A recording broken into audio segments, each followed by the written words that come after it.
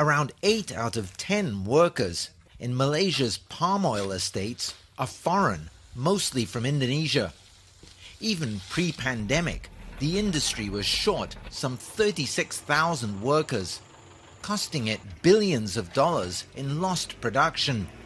Thousands more migrants have since gone home.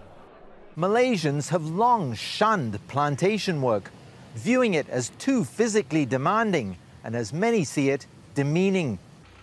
The industry has been working hard to change that perception and recruit more locals.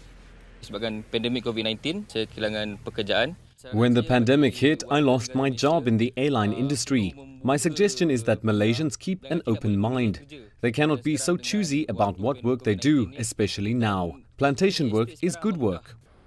Palm oil giant Sime Darby has also been working with the prisons department to recruit parolees.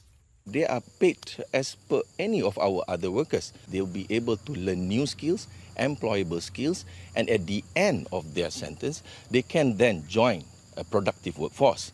Today, we only see about 60 that voluntarily uh, coming into the placement program. And uh, coupled with the locals that we hired, which was only about 300, this is not going to close at all the labor shortage. The industry is striving to make the work less arduous for locals. We are looking how to simplify the job. Now, very seriously looking at mechanization, automation. Actually, we have gone a long way on terms of mechanization, in terms of crop evacuation, herbicide spraying, fertilizer application. But the core, most critical operation, which is bringing down the fruit from the tree, that is still manually reliant and still almost entirely done by foreigners. Hence the industry's urgent plea for the government to relax its freeze on bringing in new migrant workers. Rian Maelzer, CGTN, Carey Island, Malaysia.